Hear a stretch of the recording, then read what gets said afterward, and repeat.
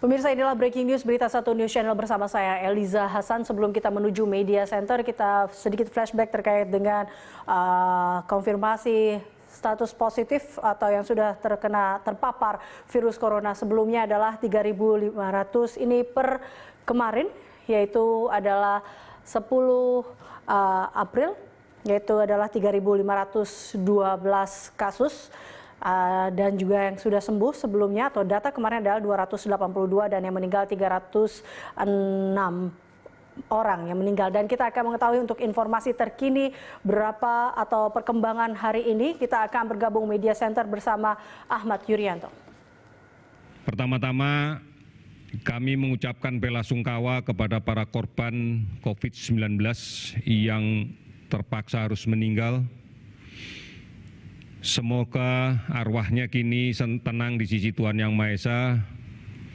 Dan menurut para pemuka agama, mereka meninggal sebagai seorang pejuang yang syahid. Protokol tentang penguburan jenazah telah dibuat sesuai dengan edaran Kementerian Agama dan aturan fatwa MUI nomor 8 tahun 2020 pengurusan jenazah yang terpapar virus COVID-19 telah dilakukan sesuai dengan protokol medis yang ada dan dilaksanakan oleh pihak-pihak yang telah terlatih dan berwenang untuk melakukan itu. Oleh karena itu, kami berharap tidak ada lagi alasan oleh masyarakat untuk takut atau bahkan menolak tentang hal ini. Kami berupaya melindungi semuanya. Kita bersungguh-sungguh. Kementerian Agama dan Fatwa Majelis Ulama Indonesia pun telah mendukung bersama-sama untuk penata laksanaan jenazah ini sebaik-baiknya. Mereka adalah saudara-saudara kita yang terpaksa harus gugur dalam melaksanakan tugasnya. Mereka adalah keluarga kita yang karena penyakit ini telah menjadi korban dan harus meninggal. Oleh karena itu, mari kita hormati mereka. Tidak ada alasan untuk kita menolak, tidak ada alasan untuk kita takut terkait dengan hal ini. Pemerintah terus bekerja untuk memberantas penyebaran virus corona ini Sekali lagi, pemerintah bekerja untuk memberantas penyebaran virus corona ini. Oleh karena itu, mari bersama-sama kita bergotong royong bersama semua lapisan masyarakat untuk menangani permasalahan COVID-19 ini. Oleh karena itu, kami berterima kasih kepada semua warga negara Indonesia yang telah patuh, yang telah disiplin untuk bersama-sama mengendalikan penyakit ini dengan memutus rantai penularannya, dengan mematuhi segala aturan yang telah kita berikan.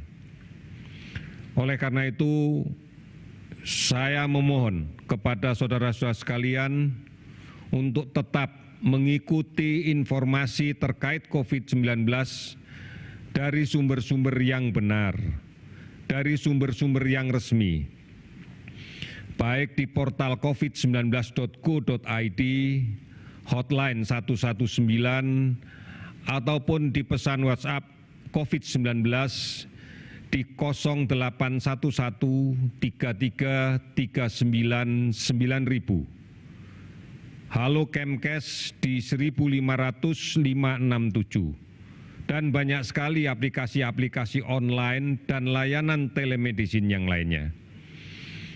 Dan kemudian ikuti live update yang dilaksanakan oleh TVRI, RRI, Kantor Berita Antara yang akan memberikan siaran secara terus-menerus baik terkait dengan apa perkembangan harian maupun apa yang harus dilakukan masyarakat untuk menangani permasalahan ini. Inilah satu-satunya cara agar kita bisa mendapatkan informasi yang benar tidak panik, dan tidak terprovokasi oleh berita-berita yang belum tentu kita akui kebenarannya.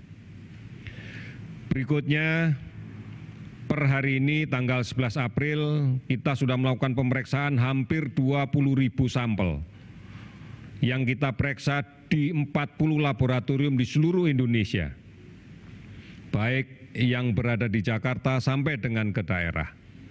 Ini adalah upaya kita untuk menegakkan diagnosa dengan pasti melalui pemeriksaan PCR real time yang menjadi standar dunia di dalam kaitan untuk menegakkan diagnosa konfirmasi COVID-19.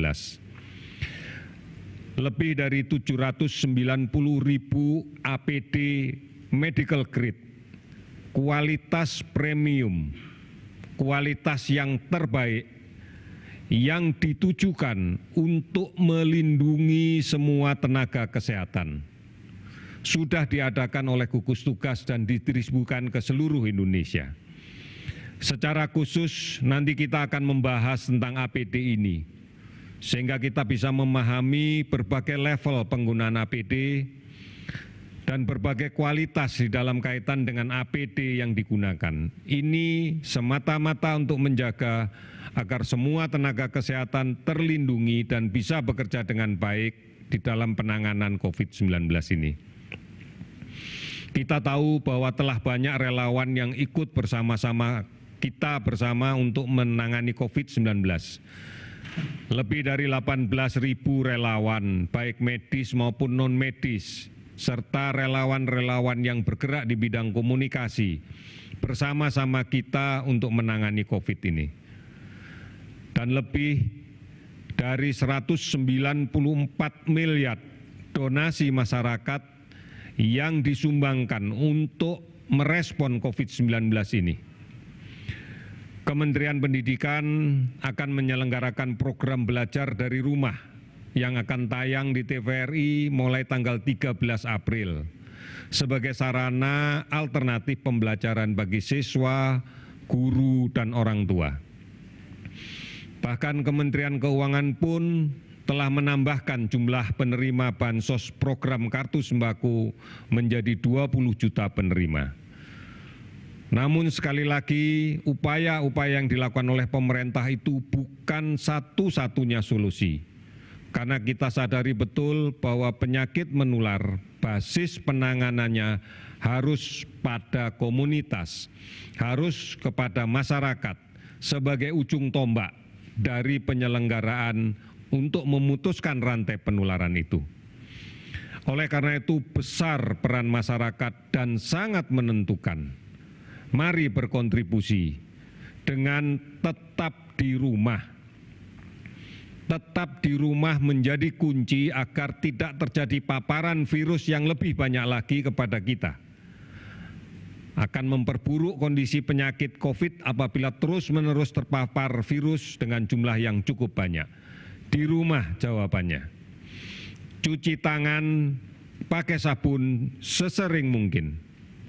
Apabila terpaksa harus keluar dari rumah, gunakan masker.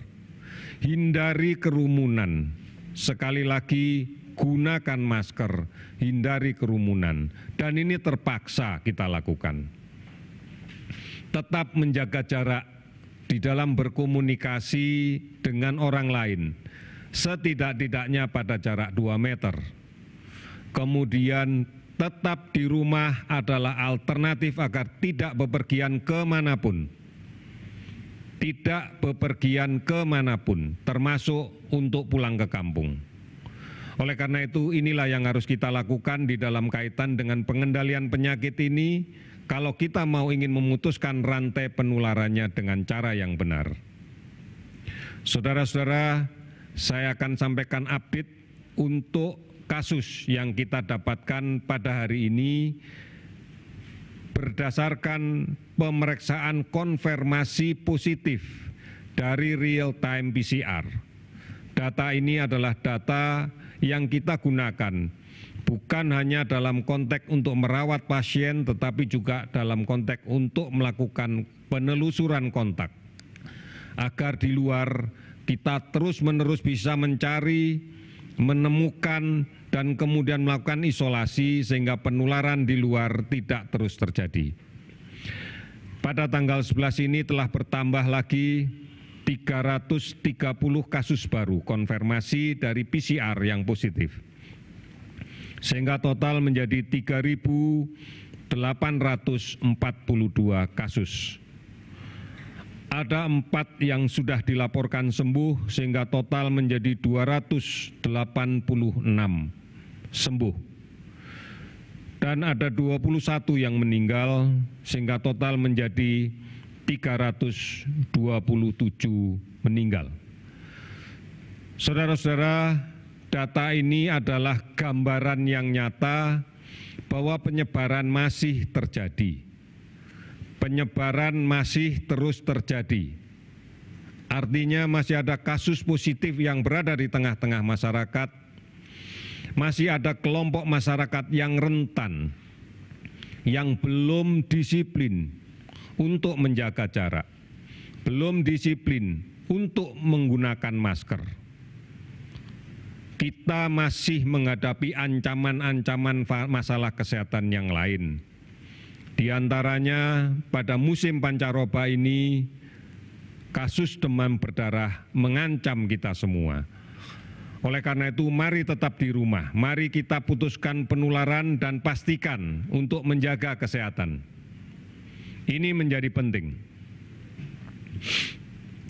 Oleh karena itu, saudara-saudara sekalian, mari lawan COVID-19.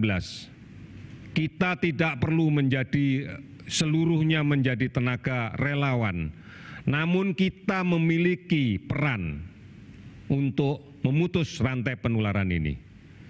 Saudara-saudara sekalian, lawan COVID dengan meningkatkan imunitas diri, makan yang bergizi, seimbang, hati selalu gembira, sabar dan tenang, istirahatlah yang cukup, dan olahragalah yang teratur. Yang penting, tidak panik, jaga jarak, pakai masker Jangan menyentuh mata, hidung, mulut sebelum mencuci tangan. Cuci tanganlah pakai sabun dengan air yang mengalir sampai bersih. Mari kita bergotong royong dan bersatu melawan COVID. Dari pusat sampai ke desa-desa dan sampai ke RT RW. Inilah satu-satunya cara yang bisa kita lakukan. Kita hadapi bersama Mari bergotong royong, mari bersatu, mari saling melindungi agar kita mampu melawan COVID ini. Mari bersama-sama, bukan hanya di tingkat pusat, tapi terus sampai ke daerah, sampai ke desa-desa, sampai ke RT RW, bahkan sampai di keluarga masing-masing. Dengan cara seperti ini, insya Allah kita akan mampu melewati masa sulit ini dan kita akan bisa menjadi pemenangnya. Sekian, terima kasih, selamat sore.